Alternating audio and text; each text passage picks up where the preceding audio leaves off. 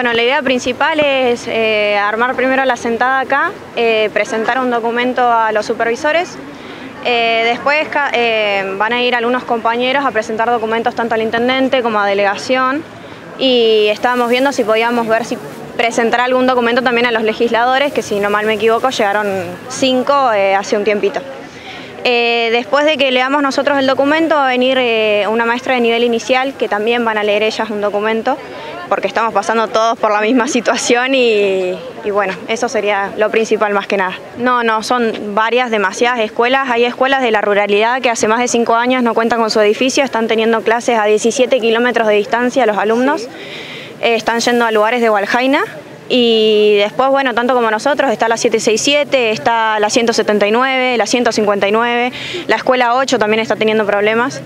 Eh, la Politécnica que siempre los tuvo, que jamás se arregló nada, lo único que hizo fue un parchecito y listo, seguimos. Es como atar con un alambre, como decimos siempre, y bueno, eh, un montón. Si me pongo a enumerar no terminamos más. Exactamente, todos los días aparece un problema más, todos los días se rompe algo más, porque en su momento supuestamente se arregló, pero en realidad no se arregló completamente como debía.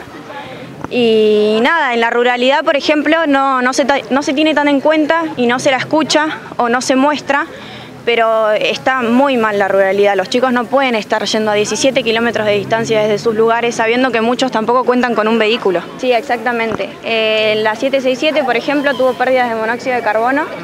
Eh, se está viendo cómo se arregla. La realidad fue que fue por un cambio de un caño que no, no estaba lo completamente largo como debía. Eh, después, ¿qué otra escuela? Bueno, la de Maitén, que también tuvo pérdidas de monóxido de carbono. Y bueno, como esa hay un montón, pero el problema es que tampoco se conocen completamente los casos. Y nosotros nos sentimos completamente vulnerados, eh, sentimos que no que nunca nos dan una solución.